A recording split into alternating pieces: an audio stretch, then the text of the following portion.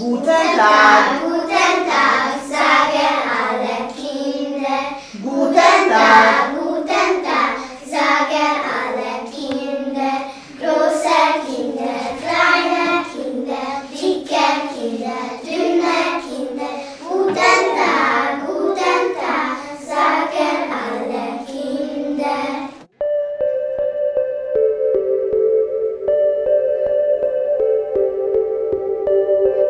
Obwohl die Erstklässler erst seit einem Monat Deutsch lernen, kennen sie schon so viele deutsche Lieder und Wörter, dass sie mit ihrem Lieblingslied die Stunde beginnen können.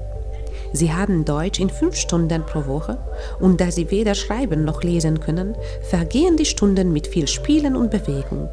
Die Deutschlehrer der Schule haben auch ein Übungsbuch voll von Zeichnungen zusammengestellt, mit dem sie die Kinder noch mehr motivieren können. Also äh, Deutsch wird in unserer Schule äh, in Gruppen äh, unterrichtet. In der Unterstufe spielen Spiel und Bewegung eine große Rolle. Schüler der Oberstufe bereiten sich vor Sprachprüfungen vor.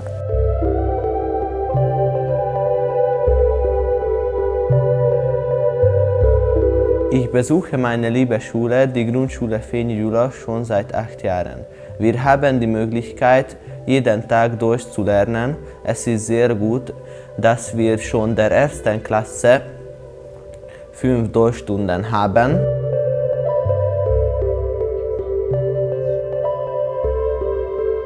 Am wichtigsten ist, ist es für mich, dass ich in der 8. Klasse eine DSD-1 äh, Sprachprüfung ablegen kann.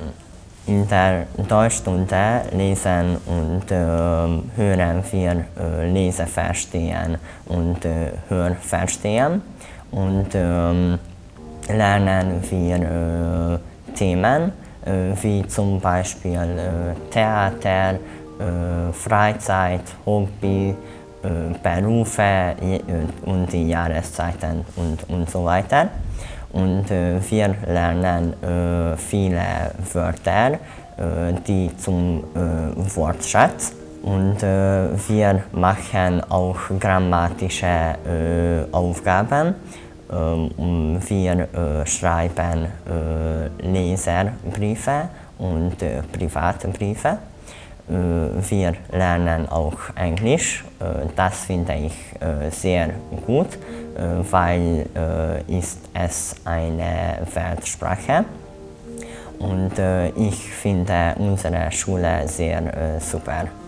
Die Schüler der Oberstufe müssen schon ernstere Aufgaben lösen, da sie sich bereits für die Sprachprüfung vorbereiten.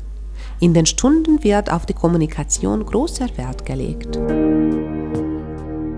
Außerdem haben wir äh, jede Woche eine Volkskunde, wo wir über die Vergangenheit der deutschen Nationalitäten, Nationalität in Ungarn viel Interessantes erfahren.